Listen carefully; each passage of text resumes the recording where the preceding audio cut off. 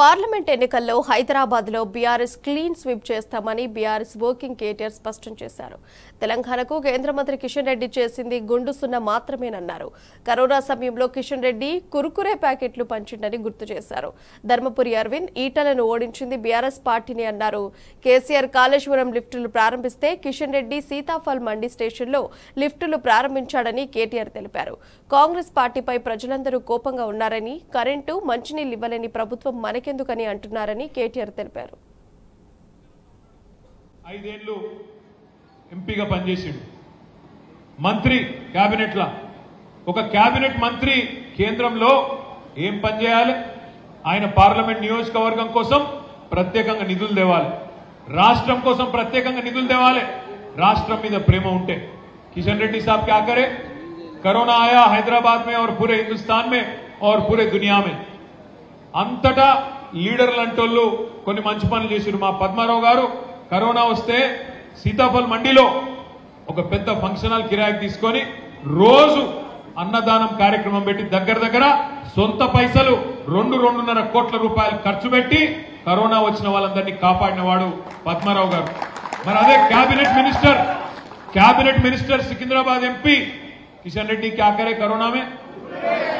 క్యాకరే Kurkure packet बांटे सबको Kurkure packet Kurkure packet बांटे उसके बाद एक और बहुत अहम काम करे उन्होंने కేసీఆర్ సాబ్ जो है కేసీఆర్ గారు పోయి కాళేశ్వరం అనే ప్రాజెక్టు ప్రపంచంలోనే అతిపెద్ద లిఫ్ట్ ఇరిగేషన్ ప్రాజెక్ట్ హైదరాబాద్ కూడా మంచినీళ్ళు ఇచ్చే ప్రాజెక్ట్ దాన్ని కేసీఆర్ గారు ప్రారంభించారు కిషన్ రెడ్డి గారు అనుకున్నారంట మరి కేసీఆర్ గారు లిఫ్ట్ ఇరిగేషన్ ప్రారంభించిండు కదా నేను కూడా ఏదైనా పెద్దగా చేయాలని फोन చేసిండంట వాళ్ళ पिए की अरे हम लोग यहाँ क्या करना भाई केसीआर ऐसा करे बहुत बड़ा लिफ्ट इरिगेशन चालू करे तो उनका पीए बोले कहते अपन भी लिफ्ट चालू करेंगे साहब तो कहां चले गए उन्होंने सीताफल मंडी रेलवे स्टेशन चले गए वहां पे दो पैसेंजर लिफ्ट थे उसका रिबन काट के बोले నేను కూడా లిఫ్ట్ స్టార్ట్ చేసిన కేసీఆర్ లెక్క మూడో పని చేసిండు మా కిషన్ రెడ్డి అన్న మొన్ననే చూసిన నాంపల్లి కాన్స్టిట్యున్సీలా గుడిమల్కాపూర్ కాడ సింటెక్స్ ట్యాంకులకు కేంద్ర మంత్రి పోయి కొబ్బరికాయలు కొడుతుండు రిబ్బన్లు కట్ చేస్తుండు. మారేడుపల్లిలో ఎంఆర్ఓ ఆఫీస్ కాడ పక్కకొక షెడ్ కట్టించిండు. ఏం చేసినవా ఐదేళ్ళ కిషన్ రెడ్డి అంటే? కుర్కురే వంచిన లిఫ్ట్ చాలు చేసిన సింటెక్స్ ట్యాంక్ కాడ కొబ్బరికాయ కొట్టినా ఎంఆర్ఓ ఆఫీస్ కాడ రేకుల షెడ్ వేసిన. ఇంతకంటే ఏం చేసిండు? హైదరాబాద్లో మూసీకి వరదలు వస్తే వెయ్యి కోట్ల రూపాయలు కావాలని నానాడు మున్సిపల్ మంత్రిగా కేంద్రంలో ఉండే పెద్దలందరినీ పోయి కలిసిన.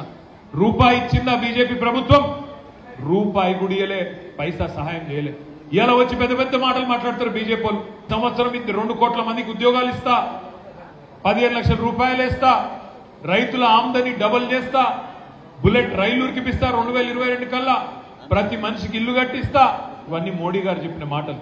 నేను ఇవాళ మా అన్నదమ్ములను అక్క చెల్లెలను ఎవరైతే హైదరాబాద్లో సికింద్రాబాద్లో ఓటైపోతున్నారో వాళ్ళందరికీ ఒకటే అడుగుతున్నా. ఇలా మాట్లాడితే బీజేపీని ఏం చేసినావు అని అడిగితే చెప్పేందుకు ఏం లేదు. అందుకే ఏం మాట్లాడుతున్నారు వాళ్ళు? మాట్లాడితే జై శ్రీరామ్. రాముడితో మనకేం పంచాయతీ లేదు. రాముడు బీజేపీ పార్టీవాడు కాదు. రాముడు అందరి వాడు. రాముడితోని మనకేం పంచాయతీ లేదు. రాముడు దేవుడు. దేవునికి మొక్కుదాం. కానీ తెలంగాణకు బుడ్డ పైసా పనిచేయని బీజేపీని మాత్రం పక్కాగా ఎలక్షన్లలో తొక్కుదాం. మన ఓటుతోనే ఓడగొట్టి మన సత్తా ఏందో చూపెడదాం అనే మాట కూడా నేను మీకు హృదయపూర్వకంగా విజ్ఞప్తి చేస్తా ఉన్నా. మీరు అడగండి. నాలుగు వేలు వచ్చినాయా? కేసీఆర్ ఇచ్చే రెండు వేలే వస్తున్నాయా? లేదా రేవంత్ రెడ్డి కాంగ్రెస్ ఇచ్చే రెండు వేల ఐదు వందలు వస్తున్నదా? ఈ ప్రశ్న అడగండి. తప్పకుండా అడగండి.